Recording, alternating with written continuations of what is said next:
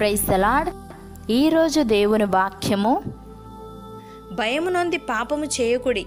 మీరు పడకల మీద నుండగా మీ హృదయములలో ధ్యానము చేసుకొని ఊరకుండుడి. కీర్తనల గ్రంథము నాలుగవ అధ్యాయము నాలుగవ వచనము. సహోదరి సహోదరులారా భయభక్తులు కలిగి యహోవాను సేవించుడి. గడగడ వణుకుచు సంతోషించుడి.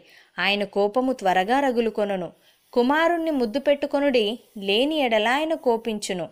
అప్పుడు మీరు త్రోవ తప్పి నశించెదరు. ఆయనను ఆశ్రయించు వారందరూ ధన్యులు. భక్తుడు ఈ విధంగా అంటున్నాడు యహోవ వాక్యము యథార్థమైనది. ఆయన చేయనదంతయు నమ్మకమైనది. ఆయన నీతిని న్యాయమును ప్రేమించుచున్నాడు. లోకము యహోవ కృపతో నిండి ఉన్నది యహోవ వాక్కు చేత ఆకాశములు కలిగెను. ఆయన నోటి ఊపిరి చేత వాటి సర్వసమూహము కలిగెను. సముద్ర జలములను రాశిగా కూర్చువాడు ఆయనే. అగాధ జలములను కొట్లలో కూర్చువాడు ఆయనే. లోకులందరూ యహోవా యందు భయభక్తులు నిలపవలను. భూలోక నివాసులందరూ ఆయనకు విరవవలెను.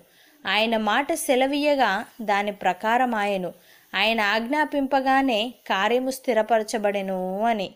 ప్రియులారా యహోవా ఎందలి భయభక్తులే జ్ఞానమనియు.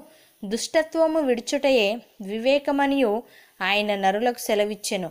భక్తుడు ఈ విధంగా అంటున్నాడు నా మార్గములు నేను పరిశీలన చేసుకొంటిని నీ శాసనముల తట్టు మరలుకొంటిని నీ ఆజ్ఞలను అనుసరించుటకు నేను జాగు చేయక త్వరపడితిని. భక్తిహీనుల పాశములు నన్ను చుట్టుకొని ఉన్నను నీ ధర్మశాస్త్రమును నేను మరవలేదు. న్యాయమైన నీ విధులను బట్టి నీకు కృతజ్ఞతాస్థుతులు చెల్లించుటకు అర్ధరాత్రి వేళ నేను మేల్కొని వాడను నీ యందు భయభక్తులు గల వారందరికీ నీ ఉపదేశములను అనుసరించు వారికి నేను చెలికాడను. యహోవా భూమి నీ కృపతో నిండియున్నది. నీ కట్టడలను నాకు బోధింపుము. యహోవా నీ మాట చొప్పున నీ సేవకునికి నీవు మేలు చేసి ఉన్నావు. నేను నీ ఆజ్ఞల ఎందు నమ్మిక ఉంచి ఉన్నాను. మంచి వివేచన మంచి జ్ఞానము నాకు నేర్పుము అని. సహోదరి సహోదరులారా యహోవ ఎందైన భయము పవిత్రమైనది అది నిత్యము నిలుచును. యహోవ న్యాయవిధులు సత్యమైనవి అవి కేవలము న్యాయమైనవి. అవి బంగారు కంటెను విస్తారమైన మేలిమి బంగారు కంటెను కోరదగినవి. తేనె కంటెను జుంటి తేనె ధారల కంటెను మధురమైనవి. వాటి వలన ఆయన సేవకుడు హెచ్చరిక నొందును.